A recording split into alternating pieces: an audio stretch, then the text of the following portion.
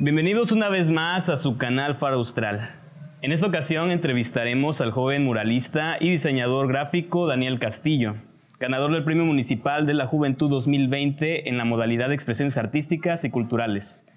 Pero antes de comenzar con esa entrevista, por favor, Daniel, ¿podrías contarnos un poco más de tu trabajo y lo que has hecho últimamente? Eh, sí, claro, pues qué tal, eh, un gusto estar por acá. Y eh, bueno, actualmente Eh, me dedico un poquito a la gráfica. Eh, estoy realizando una serie de grabados eh, que tratan de un proyecto que se llama Aquí Transito, la lotería como espacio de comunión en el barrio San Roque. entonces, en ese sentido, mi trabajo siempre lo voy como desarrollando en torno al dibujo, la gráfica, ¿no? Te digo, estoy armando como esta serie de grabados actualmente, ¿no? a través de un trabajo comunitario que vengo realizando eh, aproximadamente dos años, tres años, ahí en el barrio San Roque. Ok. Y bueno, ¿me podrías empezar a decir cómo, cómo te tuviste ese acercamiento al mundo de del arte? ¿Cómo, ¿Cómo comenzaste? ¿Cómo empezaste? Pues, este, yo creo que desde morrito, ¿no? Eh, yo, o sea, yo recuerdo que cuando entré a la secu, eh, fue así de, entré y veía como que a la banda pues hacía graffiti, ¿no? Pues hacía los bocetos en las libretas, ¿no? Entonces, eso como, como que me empezó como a atraer bastante. Y, y, nada, o sea, creo que a partir de eso fue como en mí, creo como que un boom, ¿no? Así como de, pues, te digo, eh, sentarme hasta atrás de las clases, ¿no? Y pues empezar a dibujar atrás de las libretas, ¿no? Este, en las tareas y todo ese rollo, ¿no? Entonces, pues creo que ahí mi primer acercamiento fue con el graffiti y te digo, conforme el paso de los años, este, eh, fui tratando como de buscar también cosas alternas con la ilustración, ¿no? Con el dibujo, la pintura, ¿no? Pues hasta ahorita que seguimos también ahí en la marcha. Ok, nada, sí entiendo, ¿no? Creo que en esa fase de la secundaria es en la que uno empieza a explorar como qué es lo que le tira. Recuerdo que a mí me gustaba mucho la lectura y pues, imagínate, terminé siendo historiador. Pero prácticamente se puede decir que en ese momento fue que ya supiste que esa era tu vocación, a lo que te querías dedicar, o hubo como que un momento clave en tu vida o un suceso que te haya dicho, de aquí soy. Pues fíjate que yo creo que sí. Eh, en la secu fue como lo que detonó así en decirme, ¿no? Eh, quiero, más que nada, quiero hacer diseño. Yo decía, quiero, quiero ser diseñador, ¿no? Eh, era como la primera imagen que yo tenía dentro de lo que me gustaba hacer, ¿no? Porque también me gustaba estar en la computadora, ¿no? Pues andaba ahí en el taller de computación y todo, ¿no? Aprendiendo programas, ¿no? Entonces yo creo que sí, como que a partir de ahí ya me lo empecé a plantear. Sí, sí. Ok. ¿Y podrías decirnos cómo definirías tu estilo artístico hasta ahora lo que has hecho? Em, yo creo que actualmente digo que lo que hago es gráfica.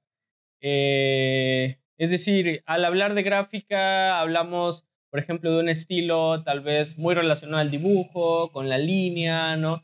Eh, te digo, con el diseño, ¿no? Con composiciones, ¿no? Eh, plastas de colores.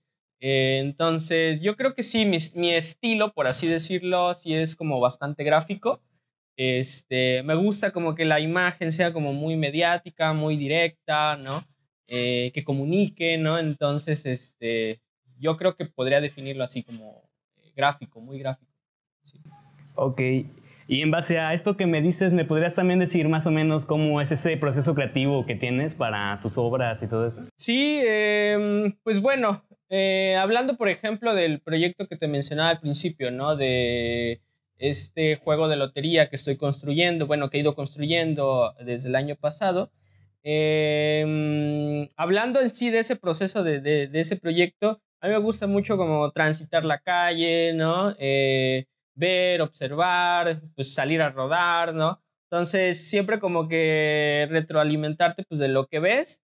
Eh, en ese caso, yo iba al barrio de San Roque, eh, empezaba a ver como las cosas que me llamaban la atención, como las que creé importantes poner en este juego lotería saco la cámara y pues empiezo a fotografiar, te digo, ¿no? Este, eh, desde hace un tiempo también pues vengo ahí como documentando una pequeñita parte ahí del, de, la, de, las, de, una de las festividades de San Roque, ¿no? Entonces, este, eh, pues te digo, creo que el proceso va desde ahí, fotografiar, Después eh, vas, bueno, en mi caso, ¿no? Voy a la compu, ¿no? Empiezo como a, manipular en el diseño, en el Photoshop, ¿no? Eh, pues le doy muchas vueltas siempre cuando estoy en la computadora, ¿no? Este, hago una prueba, luego otra, luego otra, ¿no? Hasta tal punto en el que yo lo que planteo en la compu es como un boceto digital eh, para después entonces desarrollarlo de manera física en el grabado, ¿no? Entonces, este, es como pasar desde la vivencia, desde el tránsito, eh, a lo digital y luego lo digital volverlo otra vez físico, ¿no? Entonces es como que eso, ¿no? Siempre creo que parte de lo que hago va transitando en ese sentido, ¿no? Desde lo digital a lo tradicional. Ok, y todo este proceso que me estás comentando cambia cuando son, digamos, trabajos que no son propios, o sea, que son como por encargo o algo así. Eh, fíjate que mm, no, casi es el mismo proceso. Digo, cuando me encargan, por ejemplo, algún dibujo o alguna pintura, ¿no? Yo lo que les planteo eh, siempre a, a, quien lo necesita, a quien me lo pide, es construyo un boceto digital. Digo, también actualmente lo digital es como más rápido. Entonces, eh, es casi, te digo, lo mismo, ¿no? Pasar como de lo digital a lo, a lo tradicional y como viceversa, ¿no? Es, igual cuando, ando, cuando hago murales, ¿no? Este, eh, planteo un boceto digital, ¿no? Eh, en la computadora, te digo, y ya después voy como haciendo el fotomontaje para ir viendo cómo se va a ver, ¿no? Y todo ese rollo, ¿no? Sí, es similar. Ok. ¿Y cómo fue este proceso del trabajo que hiciste en San Roque? ¿Cómo compaginaste tu estilo con lo que las, las personas de esta comunidad esperaban de tu trabajo? Eh, fíjate que creo que nunca pensé como en el estilo cuando estaba en el proyecto, em, porque siempre me, me, ha interesado la parte de compartir, la parte de colaborar, ¿no? La parte de también uno como artista, eh, creo que debe ser como el medio, ¿no? Para para poder comunicar eh, lo, que, lo que la comunidad tal vez quiere resaltar y lo que también tú como artista crees importante visibilizar del lugar, ¿no? Entonces, este, creo que el estilo, ¿no? Ya se va dando de acuerdo a la necesidad como del proyecto, ¿no? Em, entonces, claro, o sea, también tú ya tienes, uno como, como creador, pues ya tiene como algo, este, pues, trabajado, ¿no? En la mente, ¿no? Y de alguna manera siempre va saliendo ahí espontáneamente, ¿no? Este, pero sí, tal vez no hubo como una preocupación primordial del estilo, sino más bien como la idea de comunicar en sí de lo que, lo que era necesario, ¿no? Ok, y ahora que estamos hablando un poco de esto de San Roque, también me interesa saber cómo fue tu acercamiento con esto del arte urbano. Pues em, fíjate que de la, o sea, la cuestión como del arte urbano, creo que siempre me ha latido. Te digo, desde que pues entré a la secu, empecé a hacer un poquito de graffiti, ¿no? Entonces tenía que ver con esta cuestión, ¿no? De, de pues transitar la calle, ¿no? Pues estar en la calle, pues escaparte de tu casa, pues para, para ir a grafitear, ¿no? Este, entonces, toda esta cuestión como del arte urbano, como que me fue llamando la atención, ¿no? Como esa forma de comunicarte y transitar con la ciudad, ¿no? Eh, y ya cuando estoy en la uni, en la universidad, este, me empiezo como a plantear pues esta idea, ¿no? De yo con mi comunidad, yo con la ciudad de Tuzla Gutiérrez, ¿no? Eh, entonces, como una forma también de, de conocer como un poquito más la cuestión como de identidad, ¿no? Identidad personal, identidad con tu comunidad, te digo, ¿no? Este, y como a plantearme, ¿no? Esta, esta esta idea como de Tuxtla Gutiérrez, ¿no? Esta identidad de Tuxtla Gutiérrez, ¿no? Em, yo me paso a vivir al centro de la ciudad, ¿no? Y, en ese sentido, eh, pues te digo, voy como dialogando, ¿no? Entre comillas, ¿no? Con ese tránsito, ¿no? Con ese caos de, la ciudad, ¿no? Eh, y me voy dando cuenta que parte de lo que me gusta hacer eh, es tratar de compartir lo que, lo que dibujo, lo que diseño, ¿no? Entonces, por eso hablo como de este tránsito de la ciudad, ¿no? Digo, me gusta estar en la calle, me gusta salir, ¿no? Entonces, es como congeniar las dos cosas, ¿no? Y yo creo que el arte urbano es eso también, ¿no? Eh, la forma en la que tú buscas como el medio para, eh, repito, compartir lo que dibujas, compartir lo que pintas, ¿no? Y también ahí hay un punto importante en el arte urbano que eh, debe siempre contextualizar la comunidad en donde, en donde estás, ¿no? Entonces, eh, pues en ese campo yo creo que me he ido como desarrollando un poquito, ¿no? Digo, sin intenciones primordiales, ¿no? Pero pues se han ido dando espontáneamente, ¿no? Ok, sí, entiendo. Y ahora que has tenido esta experiencia de trabajar con una comunidad como es la de San Roque, ¿podrías decirnos también cómo, cómo es el acercamiento que tienes con las personas? ¿Cómo es tu relación con ellas durante tu proceso de trabajo? De... Pues este, mm, creo que siempre la manera correcta de trabajar en proyectos así es que haya sensibilización de las dos partes, ¿no? Eh, pero yo creo que más, más el artista o el creador debe sensibilizarse con la comunidad, ¿no? A veces se piensa lo contrario, ¿no? Que la comunidad es la que debe sensibilizarse con el artista y entender al artista, ¿no? Y lo que quiero proponer siempre debe suceder como al revés, ¿no? Tú cuando llegas a la comunidad, ¿no? Eh, entender, no escuchar, ¿no? Eh, eh, digo, más si es un conjunto de vecinos como, los como son los de San Roque, que están organizados, que tienen un trabajo previo, ¿no? Ellos tienen sus propias reglas en el barrio, ¿no? Entonces, es escuchar prácticamente todo eso y ver de qué forma puede haber un diálogo mutuo, ¿no? Con lo que tú creas y con lo que eh, ese lugar, ¿no? En donde estás, ¿no? Entonces, en ese sentido, ¿no? Creo que el proceso ha sido así, ¿no? Eh, el acercamiento, el tocar las puertas, ¿no? Em, el escuchar, ¿no? El entender, ¿no? Pues las problemáticas ahí del barrio, ¿no? Eh, y siempre es un diálogo, yo creo que como diario, cotidiano, ¿no? Em, en el que pues voy, vengo, ¿no? Pues estoy ahí, ¿no? pues veo cosas que pasan ahí, ¿no? Entonces, este, es eh, ser parte también como de la cotidianidad que, que hay en el lugar. Ok, y ya pasando a otro punto, de las obras que has hecho, eh, ¿cuáles han sido tus favoritas? Eh, pues fíjate que mm, de los murales que armamos ahí en San Roque, me gustó mucho todo el proceso de cómo se fue dando eh, un mural que está en la séptima oriente y primera sur. Eh, ese mural lo titulamos como tal en el del proyecto, El lugar que habitamos. Eh, es un mural que, es decir, comenzó como con una fase, de repente hubo una siguiente fase, se fue como expandiendo, expandiendo, expandiendo, expandiendo a tal punto de que se pudo pintar una casa entera, más otros murales a los costados, ¿no? Entonces, eh, digo, aparte también como de la magnitud ahí del, mural, a mí me latió mucho que, pues amigos, ¿no? Conocidos, este, los mismos vecinos del barrio, los niños se fueron como involucrando, ¿no? Eh, entonces, al final se volvió un mural totalmente eh, súper colaborativo entre todos. Eh, y digo, a pesar del rollo actual de la pandemia, ¿no? Que lo paramos algunos meses, ¿no? Lo fuimos como reanudando, ¿no? A tal punto de que se pudo lograr, ¿no? Entonces, eh, de la mano, pues, de varias personas, ¿no? Entonces, eso al final a mí creo que me late mucho en los procesos ahí de, de, pintar, ¿no? De, de, hacer algo. Y actualmente creo que sí es como una de las obras favoritas, ¿no? Que tal vez no puedo decir como que solo es mía, porque pues al final eh, pues también varias personas, te digo, estuvieron involucradas ahí, ¿no? Entonces creo que esa es una de las que más me late. Ok, y de la misma manera, ¿hay alguna obra que no te haya convencido su resultado o que no te haya gustado al final? Eh, fíjate que por más que pienso, ahorita no, no se me viene una a la mente.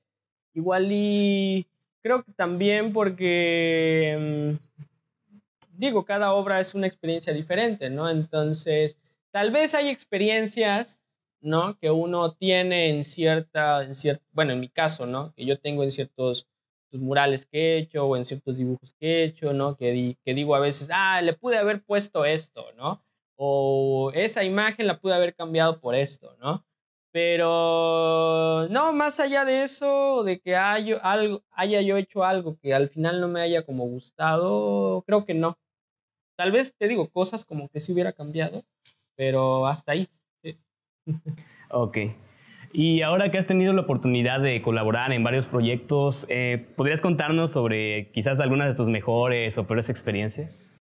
Eh, eh, mejores, Eh, bueno, fue una vez, siempre como, me como que me remito a eso. Este, ese fue un proyecto colaborativo, ya tiene un buen de tiempo. Eh, con una asociación nos fuimos a pintar en la frontera con Guatemala, ¿no? Entonces pintamos dos murales, uno del lado de Chiapas y uno del lado de Guatemala, ¿no? Entonces era como diario, una semana creo fue, eh, estar como transitando el río, el río Suchiate. Eh, pasábamos en las balsas y todo, ¿no? Eh, regresábamos de noche, ¿no? Entonces era como, pues esa experiencia, ¿no? Como pues de estar, de estar en un lugar donde sabes que suceden cosas. y nada, ¿no? Eso fue como de la, ha sido como de las experiencias que, que me han dejado así como de, pues quiero seguir haciendo esto, quiero seguir haciendo lo que me gusta, ¿no? Y quiero seguirlo compartiendo en lugares eh, como esos, digamos, ¿no? Donde tal vez desconoces, pero vas como con todas las intenciones, ¿no? Como de ampliar tu conocimiento para pues, poder hacer algo ahí.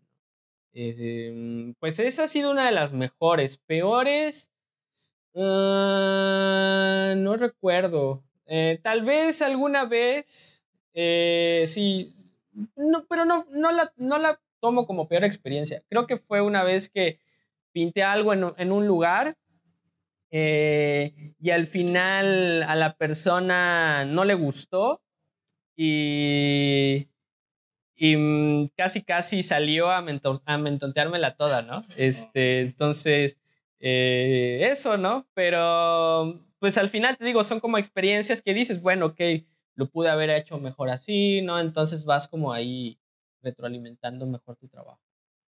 Ok, y entre, dentro de esas este, colaboraciones que has hecho, ¿hay algunas que te gustaría destacar? Eh, pues yo creo la actual, la de San Roque. Eh, ese trabajo creo que ha sido eh, pues bastante importante, digo, en la cuestión en la que como a mí me ha ampliado como la forma de ver las cosas eh, con mi trabajo y con el lugar donde vivo, ¿no? Entonces, eh, pues las intenciones con eso ha sido como actualmente en este año, pues seguirlo trabajando. Entonces, sí, pues creo que esa colaboración con los vecinos unidos de San Roque, creo que es como con la que estoy así como de bastante aprendizaje actualmente. Ok, y a lo largo de tu carrera artística, ¿cómo cuáles hayan sido los mayores retos que has tenido que afrontar? Eh, pues el varo, creo. sí, este, sí, el varo, este, pues, eh, sí, al final, te digo, de alguna manera, mm, uno como artista o como creador, como uno le quiera llamar, ¿no? Em, siempre creo que tratas como de empaparte como de varias cosillas, ¿no? Entonces, este, en mi caso, ¿no? Pues te digo, hago un poquito de diseño, pues pintura, ilustración, ¿no? Este, entonces, siempre como ver la forma también de, pues, de que tu oficio, tu carrera, ¿no? Pues vaya siendo como sustentable, ¿no? Entonces, este, eh, pues eso, ¿no? Como, pues, mantenerte, ¿sí? Ok, bueno, ya para ir finalizando, no sé si te gustaría comentarnos qué estás trabajando actualmente o dónde podríamos seguirnos para conocer más sobre tu trabajo. Sí, te digo, eh, actualmente ahorita estoy sacando esta serie de impresiones en grabado, en linóleo, de este proyecto que te digo, la Lotería de San Roque. Eh, por ahí la voy a estar compartiendo en, en mis redes sociales. Bueno, en Facebook estoy como Daniel Castillo, así como tal. En el Instagram estoy como arroba daniel.castillov, ¿no? Entonces, siempre voy como compartiendo los procesos ahí, de lo que hago y del proyecto este del lugar que habitamos, que estuvimos realizando, bueno, que estamos realizando todavía en, en, San Roque. Este está en Instagram, hay una documentación que estamos haciendo ahí en Instagram que se llama, bueno, arroba, la cuenta arroba el lugar que habitamos así como tal, ¿no? Entonces también ahí pues pueden checar la página y pues nada, ¿no? Pues ahí estaremos compartiendo los procesos de todo lo que viene. Ok, pues muchas gracias Dani por brindarnos este espacio. Esperamos que hayas disfrutado esta entrevista, así igual que nosotros. Y sin más, esto es todo por nuestra parte. Nos despedimos y nos vemos en la próxima ocasión.